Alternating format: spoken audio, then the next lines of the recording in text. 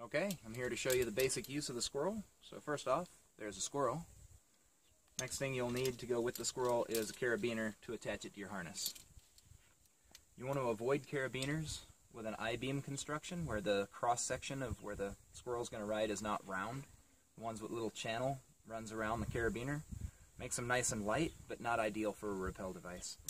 You want to avoid those. What you want to stick with are carabiners with a round cross section.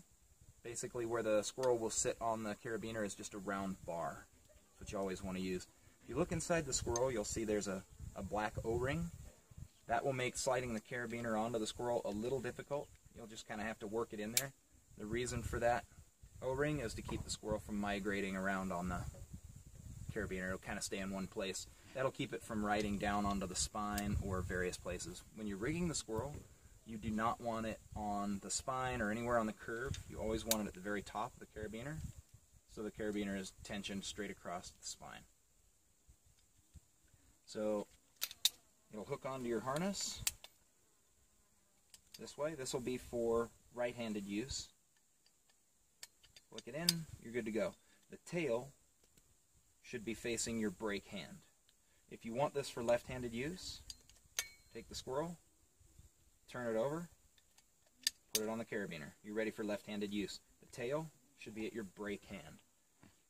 So I'll be doing right-handed use for this. There we go. We're all set and ready to go. So your basic use, single rope use first. Take a bite of rope, place that bite of rope through the throat of the Sqwurel with the brake strand going toward the tail. Click the bite into the rappel device, and then you'll always want to lock your carabiner. That's locked up. Detension it so you've got tension between yourself and the anchor. So you got a way to lean back on the thing. That is the lowest friction mode you're going to have. This is simple mode, lowest friction level, or lowest friction setting. So if you need more, this can be done while you're rappelling, before you're rappelling, at any time, weighted or not weighted. You just take this brake strand of rope and pull it up into the first tail hole. That'll give you an addition, uh, additional friction. If you need more, wind it down into the second tail hole, which will give you even more friction. If you need more friction than that, pull it up into the third tail hole. So you have four levels of friction. The initial, one, two, and three tail holes. So that's friction level zero, one, two, and 3.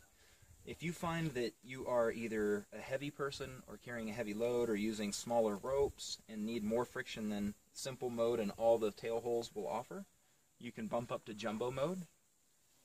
That is the second of the uh, friction modes, second higher. You'll take the by, uh, strand of rope on the right side of the carabiner by the tail, pull it out, slide it over the tail, and cinch it down again.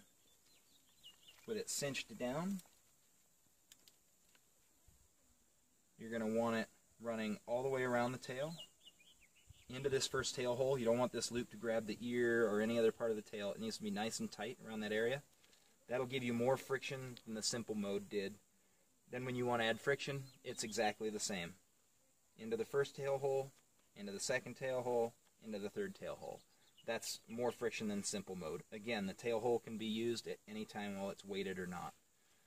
If you find that that is not enough friction and you have small ropes or you're a big person or you're carrying a heavy load, you have one other mode that can be set prior to weighting the device. Set it up in jumbo mode, just as explained here. This time, additionally, take the rope strand on the side of the carabiner opposite the tail, give just a little bit of slack, and push it right behind that behemoth tab. The behemoth tab's a little fin on the side of the carabiner opposite the tail. So it should look like that for jump, uh, behemoth mode. That'll give you more friction than either of the other two modes. Again, you want to add friction, first tail hole, second tail hole, third tail hole. Easy to just adjust the friction up or down during rappel, whatever you need at the time. So that covers your basic use for single rope.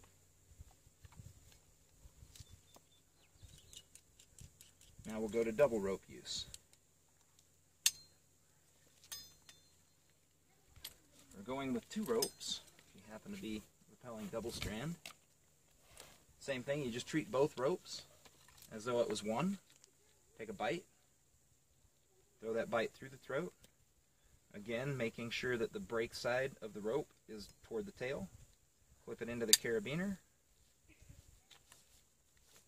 Again, lock your carabiner and pull out your slack so that you're you've got tension between yourself and the anchor.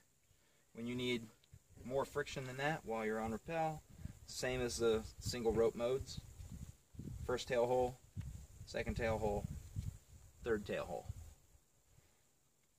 This is for simple mode with double rope. You do not want to use double strand with jumbo mode or behemoth mode. The reason for that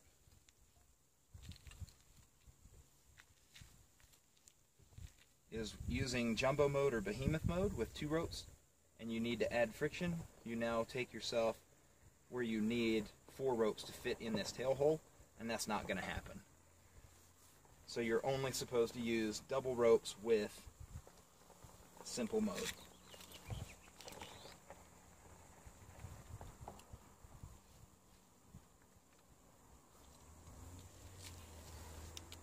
Boom. So there's your double rope use. For removing yourself uh, from the rappel, give yourself a little slack, remove the ropes from the carabiner, and pull out. And that's your basic use on using the Sqwurel. Have fun.